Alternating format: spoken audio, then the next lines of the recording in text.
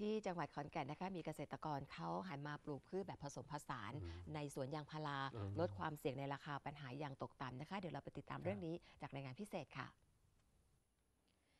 ส่วนยางพาราที่พร้อมเปิดกรีดอายุ 6-7 ปีจำนวนกว่า 26 ไร่ ที่มีพืชสวนหลากหลายชนิด เป็นของนายสงวนมณีเกษตรกรชาวบ้านสำโรงตำบลบ้านขามอำเภอเมืองจังหวัดขอนแก่น ที่ได้รับการช่วยเหลือทางด้านวิชาการจากการยางแห่งประเทศไทยจังหวัดขอนแก่น ผมก็ทำสวนพืชเสริม พืชแซมนะครับ เพราะว่าผมถ้าไม่ทำตรงนี้เนาะถ้าไม่ทำตรงนี้เราก็ไม่มีรายได้ในช่วงที่เรายังไม่เปิดกรีดยางเนาะ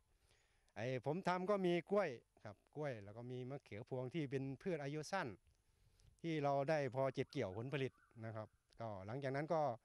ทำงานอย่างอื่นที่บ้านก็ไปรับจ้างเป็น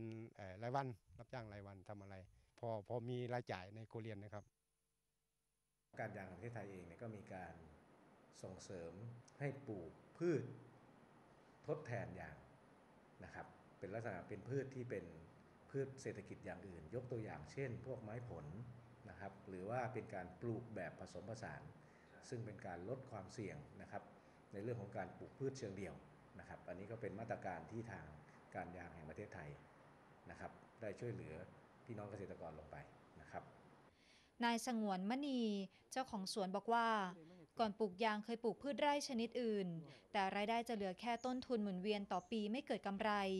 ซึ่งก็ได้แต่หวังว่าเมื่อยางพร้อมกรีด จะทำกำไรได้ต่อเนื่อง ส่วนระยะเวลาที่รอกรีดยาง ก็ไม่ได้เป็นปัญหาแต่อย่างใด เพราะมีพืชที่สามารถเก็บเกี่ยวผลผลิตสร้างรายได้ทดแทน คือถ้าถามว่าผู้ปลูกยางหรือเกษตรกรชาวสวนยางทางภาคอีสานเนี่ยทางขอนแก่นเนี่ยได้รับผลกระทบไหมในช่วงที่ราคายางตกต่ำเนี่ยถามว่ากระทบไหมก็ต้องตอบว่ากระทบนะครับ แต่ถ้าเปรียบเทียบกับภาคอื่นๆนะครับ ยกตัวอย่างเช่นทางภาคใต้อย่างเงี้ยซึ่งทางใต้เนี่ยเขาก็จะเดือดร้อนกว่าเรา เพราะว่าอีสานเองเนี่ยถ้าไปเปรียบเทียบเรามีการทำการเกษตรที่หลากหลายกว่านะครับ ก็ทำให้เกิดการกระจายความเสี่ยงออกไปนะครับนอกจากนี้นายสงวนมณี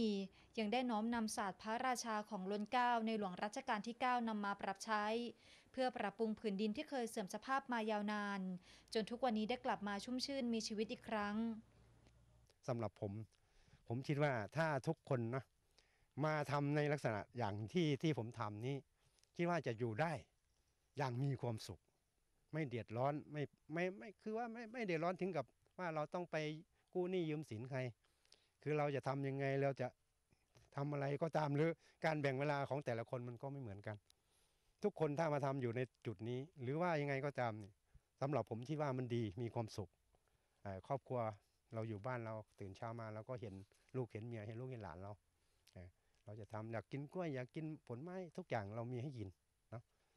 แม้ว่ามาตรการลดพื้นที่ปลูกยางพารา โดยการปลูกพืชแซมในสวนยาง จะเป็นมาตรการช่วยเหลือเกษตรกรในช่วงราคายางพาราตกต่ำแต่การปลูกพืชแบบผสมผสานในสวนยางพารา จะช่วยให้ระบบนิเวศมีความสมดุลอย่างยั่งยืนทำให้เกษตรกรสามารถปลูกพืชอื่นเพื่อสร้างรายได้เสริม โดยไม่ต้องพึ่งพาราคายางที่มีความเสี่ยงแต่เพียงอย่างเดียว ทีมข่าว NBT ขอนแก่น รายงาน Thank you.